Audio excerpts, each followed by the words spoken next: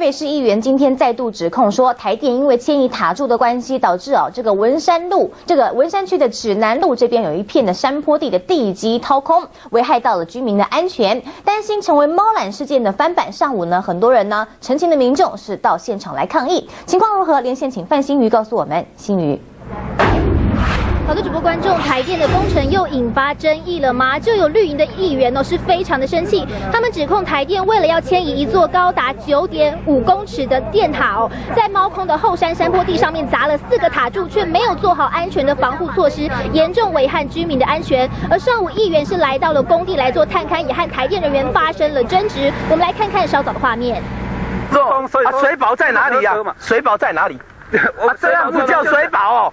不是，哎，哦，这样不行了，这样不行了，这样不行了，这样不行了啊！好是一套，但实地工程又是做另外一套。没有，我们对照说一套做一套啊！水保计划，水保说在哪里？你有必要等一块，是不是？黑马全都是安尼啊！啊啊，这样子叫水保哦？是啊，来来来来，目前就是这样子。这是偷工减料了。没有没有没有没有，我我们觉得。好的，您可以听到，其实整体的争议是起于这个新乐克台风之后呢，台电一个编号零三九的电塔，它的下方呢已经严重的掏空，因此为了要把这个电塔往南移五公尺，台电人员就在猫猫空后山的山坡地上面砸了四个塔柱。那么山坡地是倾斜八十公八十公尺八十度倾斜哦，而这四个塔柱呢，分别有深达二十七公尺，比起猫缆的 T 十六塔柱还要深了五公尺。重点是您可以看到，在这个塔柱的周围，除了铁皮围栏之外呢，就只剩一点点的沙包。那么严重的安全防护是不足的。下方呢，就是是民众的茶园以及这个停车场。那么议员非常生气，他们指控台电人员这样根本是草菅人命。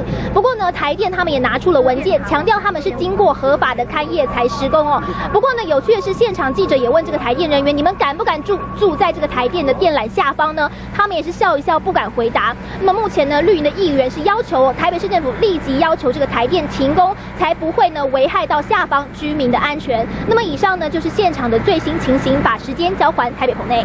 好，你可以看到台电的塔柱哦，因为呢地基被新乐克台风给掏空了，现在要迁移。不过是不是造成了文山区指南路整片的山坡地也跟着被掏空，危害到居民的安全呢？我们都要请新余带我们随时关心来自现场的最新情况。